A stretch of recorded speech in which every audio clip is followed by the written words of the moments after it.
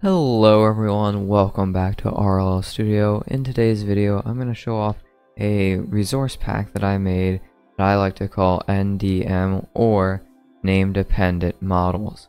And um, as you can see, um, what I have here is basically an example pack to um, show you how to use a certain feature in Bedrock Edition.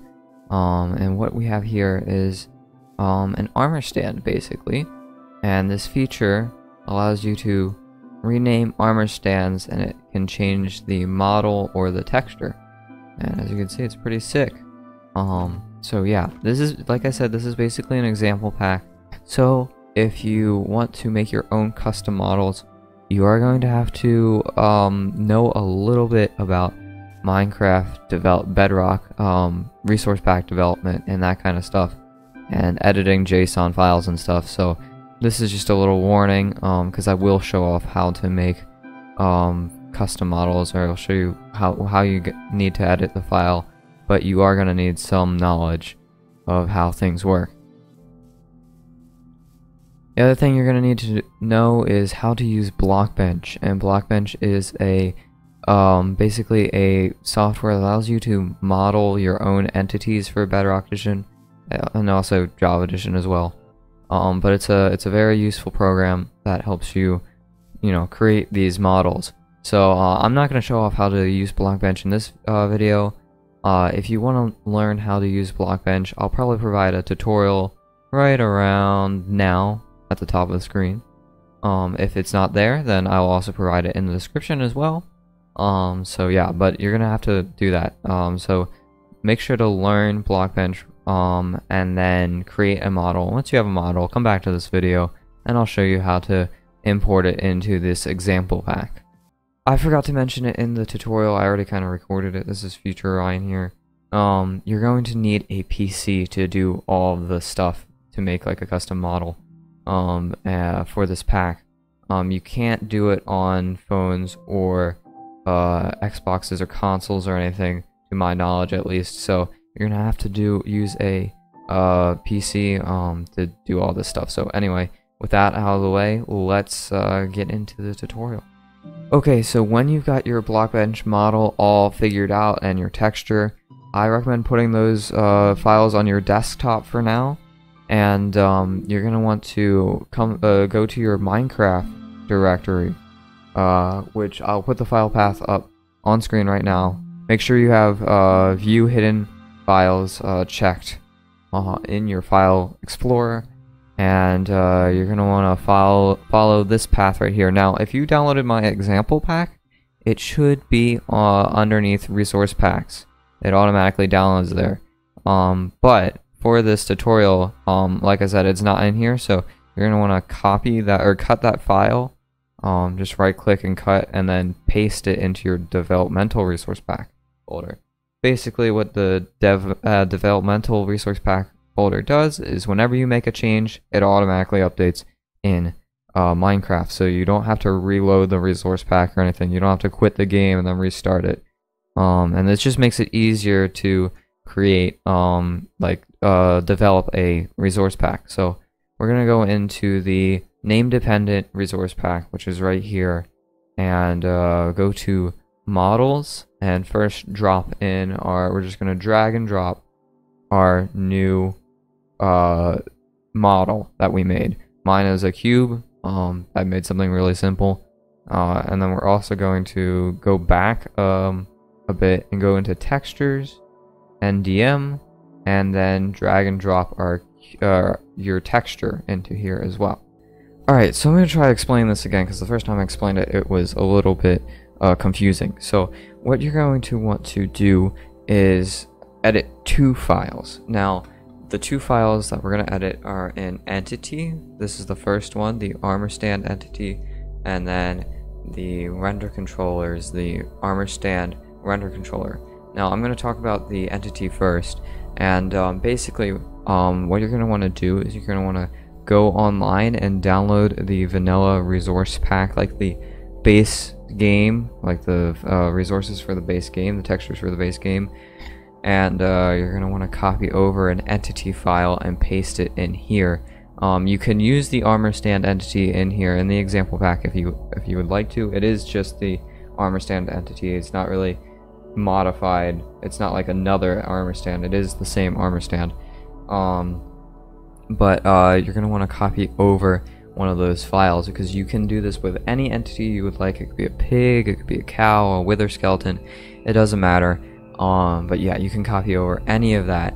Um, and then you're also gonna want to copy over whatever mob or entity's tech uh, render controller into here as well. Um, so you're gonna want to copy that, and you're also gonna want to rename that uh, render controller as well, because before it was the armor stand dot render controller, and then I renamed it to armor stand underscore ndm render control render controller. And the reason why you want to rename it is because you don't want the game to get confused and try to use the vanilla default render controller over this custom one. Um, it just will it sometimes will get confused in certain situations, so we want to make sure that this is the one that we need to use. So once you've done that, once you've copied over your armor stand entity, um, or whatever entity entity file, whatever entity file you copied over, um, you're gonna want to open this up, these two files up. Now you could open it up with uh, Notepad or Notepad++, and that will work. You can edit it with that. But I would recommend um, downloading Visual Studio Code because we can get some plugins that will kind of point out mistakes and errors that we make. So when you open up Visual Studio Code, if you're using Visual Studio Code, you're going to want to install a few extensions. Um, one of them is Blockception's Minecraft Bedrock Development. Another one is the JSON bias syntax and then we also have the Minecraft JSON uh, extension, as well as Bedrock definitions and JSON as well. Um, and that should be everything. Everything else is just extensions for other projects of mine. Um, and once you install all those extensions, they should point out how to, uh, like, they should point out errors if you have any. And we also have both of the files open. Now, the first file we're going to modify is the armor stand entity if you're not that familiar with uh, editing JSON files, I recommend just copying pa and pasting code in my um, example pack because you know JSON is very um, picky. I would say uh, if you mess up one thing, everything just doesn't work. Nothing in that file works. So um, yeah, you gotta make sure that you don't mess up anything. Um, so what we're to do is we're mo modify the armor stand entity first. And the first thing I'm to do before I mess with any of this, I'm to change the render controller to the render controller name that I have here. NDM. Alright, so that is what we renamed the file. Oh, and we also want to go over to the other file and change that name as well right there. Okay, um, so it's going to usually look like that, and we're going to change it to armor stand ndm. Okay, so we want to make sure that basically this file is saying, hey, I'm looking for the control render controller render.armor stand ndm. And right here, that's right there. Controller render armor stand ndm. So make sure that those two match. Um, whatever you whatever entity you're using should have um, similar render controllers. So First thing we're going to want to modify in the entity file is this right here. We're going to modify the textures um, code right here. So I'm going to add a comma. I'm just going to copy this. Oh, oh, oh, okay. Control Z if you make an, uh, an error. That's for undo and Control C to copy. Enter and then Control V to paste. And uh, I'm going to rename this to my cube that I made and uh, I'm going to also rename this to cube here uh, make sure that you get the name right uh, for your model um, whatever you named it in Blockbench it should be the same. Um, so yeah just make sure you get that right. And then you're also going to do the same thing here for the geometry. Gonna copy this. And we're gonna paste this right here. And we're gonna rename this to cube. And same thing for this as well. We're gonna do this So make sure that you have these commas in there if you have multiple, because then it, if, if you don't, it won't work. And yeah, so make sure that you also have a geometry as well. Every single entity should have a geometry already in there, a default geometry, so it shouldn't be too easy to add your custom geometry. And that's pretty much it for the entity file. It's not that hard to modify. Um, the armor stand, or what the entity render controller though, that's when it gets a little hard. Also make sure to control S and save your file. Um, the render controller is a little bit more difficult. So let me walk you through this. First of all, make sure that you rename this. We already mentioned that. Make sure that that is the same as this. Uh, and then you're going to want to add um, a, another, you're going to copy and paste this right here and change the corpse to cube. Uh, as you can see right here, that adds in our cube to the texture set. Or yeah, and and um change the geometry. Now this is a little bit complicated. This is where the magic happens in this pack. So I'm gonna try to explain this to you. This is basically saying if name is corpse, uh, geometry, give it the corpse geometry. Now the corpse is the skeleton that I made. Um, then give it the geometry of the corpse, right? And then it also has a little sub if statement as well. So if it is corpse with a capital C, if you named it corpse with a capital C, then give it the geometry of the corpse as well. And then it will move on to the turkey, which is another, uh, whoops, I accidentally resized the screen there. Hold on, let me fix that. Um, if you rename it, if you, yeah, if you name it turkey, it will name it turkey and stuff. And this is for the geometry, and we also do the same thing for the texture as well. So if the name is corpse, give it the corpse texture. So to add in our own, we just have to copy and paste um, all the way up until, where is it, starts doing turkey. Now this is a little uh, annoying. Um, I'm just going to scroll here. So right until here, until this uh, colon right here, you're going to copy until there. So Control C, and you're going to want to add a uh, parenthesis right there. And then Control V. And then now we have two corpses in here, as you can see. Two corpse line, uh, code lines or whatever. Two uh, corpses. So um, now you're going to want to rename this corpse into cube. And same for this as well. Make sure that you rename the dot ge or geometry dot um, to cube. And then rename this to cube, but with a capital C this time. So if you name it with a capital, you yeah, if you name it with a capital, it works still. Change this to cube as well.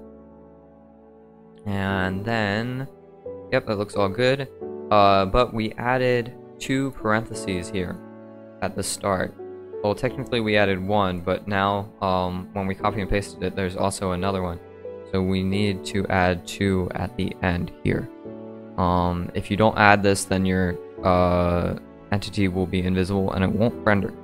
Um, and we can also double check to make sure that we have enough uh, enough parentheses. So we have one, two, uh, three, four, five, and 6. So at the end we should have 6 as well. One, two, three, four, five, six. Yep, we do. And yeah, so the geometry should be all good. And now we have to do the texture. And the texture is the exact same thing. You're going to copy this code right here. And then control C. And then grab or uh, put down a parenthesis. And then control V. And then rename all this rename this to cube and to cube and then cap uh, cube with a capital C. Um, whoops, I accidentally got rid of something there. Cube and cube.